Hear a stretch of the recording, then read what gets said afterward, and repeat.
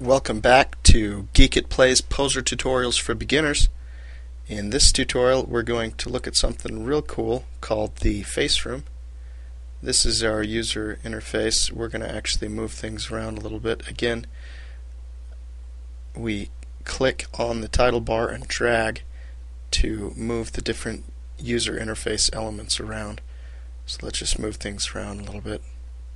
Move the light controls and the camera controls. And we're going to go up to our face room. Open it up. And this is the face room. This these are some of the controls. The great thing about the face room is, is you can take photos and apply them as textures to your figure. So we're going to come over here to the photo lineup area and load a front photo that we've already set up to use as a texture. So let's go ahead and select our front face and we'll click open.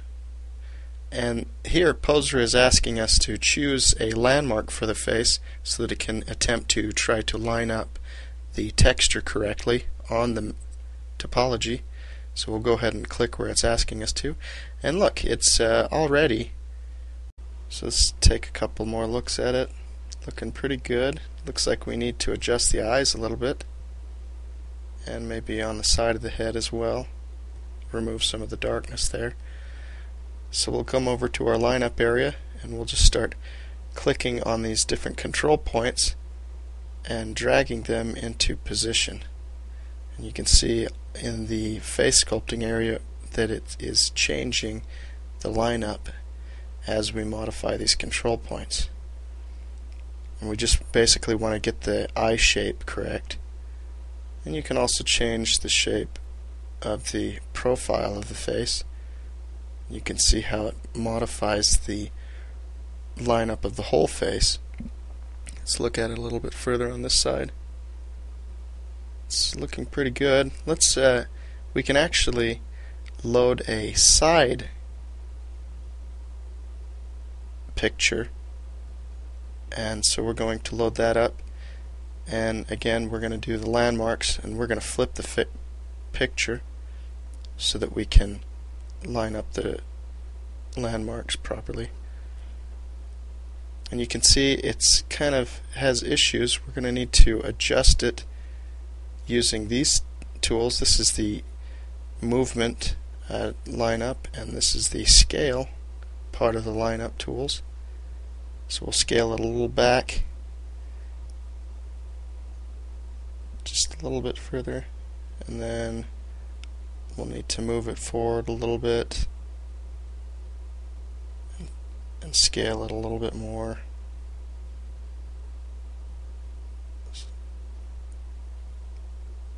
And basically you just want to line up your control points to your different landmarks of the face.